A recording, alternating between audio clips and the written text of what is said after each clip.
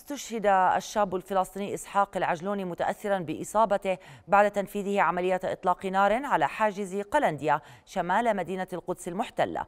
أسفرت عن إصابة جندي إسرائيلي واستدعت مخابرات الاحتلال والدي الشهيد وشقيقته وشقيقه للتحقيق.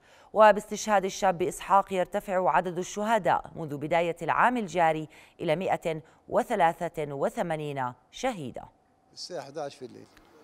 كنت أنا وياه في فرح في مناسبة عرس. في عرس أحد الأقارب وقبل ساعات من إعلان استشهاده كانت المرة الأخيرة التي يرى فيها الحاج أمين العجلوني حفيده الشهيد إسحاق. تقزمت أمنيات الحاج من أن يرى حفيده عريساً إلى أن يودعه فقط فسلطات الاحتلال احتجزت جثمانه فور استشهاده.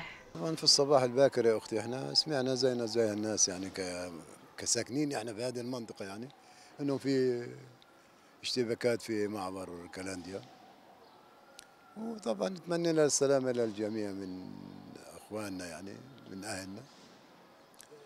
بعد نص ساعة زمان يعني أو ساعة زمان يعني نزل على التلفزيونات على التلفونات نزلت صورة ابننا يعني. طبعا كابننا يعني عرفنا.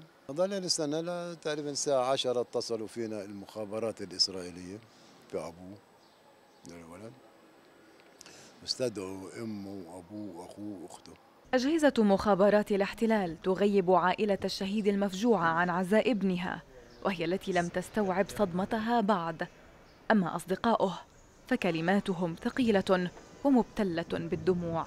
آخر إشي شفته امبارح قال لي صورني فيديو وصورته إياه. وعدنا الفيديو ثلاث مرات. والصبح لما صحيت من النوم بطلع لو شفته بدي أحمل البلفون ورني له كل في واحد بيشبهه. لو تبعت تبعت له هو. يعني ما ضل يحكي عن الشهادة والشهادة بده ينزل على مخيم جنين بس بني آدم بجنن يعني بالكلمة بالمعنى بكل شيء. بني آدم معروف يعني هو بني آدم طيب مالوش بالمشاكل. بيت عزاء كبير مفتوح وممتد. هكذا ترى فلسطين إذا نظرت إليها من أعلى. والمعزون فيها ينتقلون من بيت إلى آخر دون توقف. يمسحون دموع الأمهات ويسندون أكتاف الرجال إذا مالت. من بلدة كفر عقب شمال القدس المحتلة أسيل سليمان. رؤيا